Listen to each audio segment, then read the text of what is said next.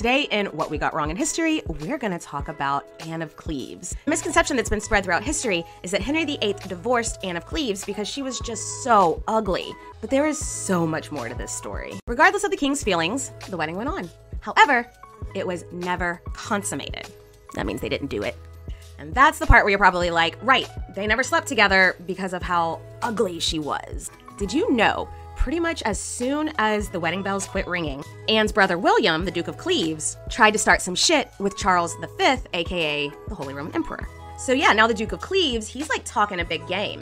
And he's like, yeah, my brother in law, the King of England, is gonna give me forces and money and send over some troops. To which Henry was like, the fuck we are. So I hear you asking, okay, if the divorce was just over diplomacy, why do we all know the story of how ugly she was? Let me explain.